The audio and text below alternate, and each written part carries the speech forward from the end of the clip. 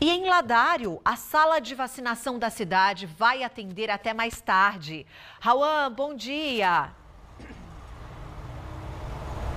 Oi, Bruna, bom dia para ti e para o pessoal que acompanha também o MS1 nessa sexta-feira. Falar então de vacinação, né, nesse Dia Nacional da Imunização, a importância de se vacinar e se manter protegido. Né? Para hoje estão sendo disponibilizados todos os imunizantes disponíveis pelo SUS para atualização do cartão vacinal. Isso para toda a população, né? Imunização da influenza, Covid-19 também, as, a, o reforço, a bivalente também está sendo ofertada.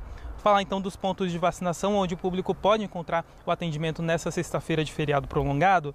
Para começar por Ladário, né, como você disse lá, a vacinação em horário estendido.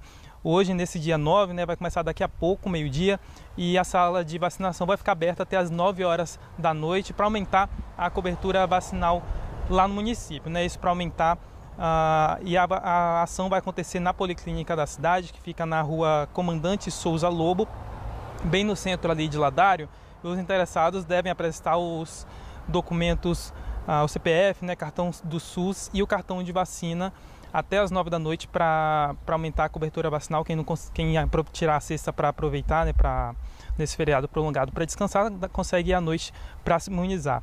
Falar também de Corumbá, que a unidade Breno de Medeiros está aberta até o meio-dia e amanhã, no sábado, ah, das 8 às 13 horas vai ser a UBS Lúcia Maria e a UBS Ranulfo de Jesus.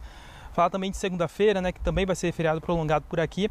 Dia 12, a UBS Breno de Medeiros, das 8 até as 12 horas, para o público que quiser aproveitar esse feriado prolongado para descansar, mas também para manter a saúde em dia, atualizar o cartão vacinal aqui em Corubá e também em Ladário, com horário estendido nesta sexta-feira. Bruna. Boa, Raul. Às vezes na correria do dia a dia, quando a gente tem que ir voltar para o trabalho no horário certinho, não dá tempo de passar na unidade. Então agora que vai estar tá de folga, dá para se programar e incluir uma brechinha aí nesse feriado prolongado para imunização. Te agradeço, viu? Daqui a pouquinho Corumbá e Ladário acompanham, portanto, as notícias da região com a nossa equipe Pantaneira.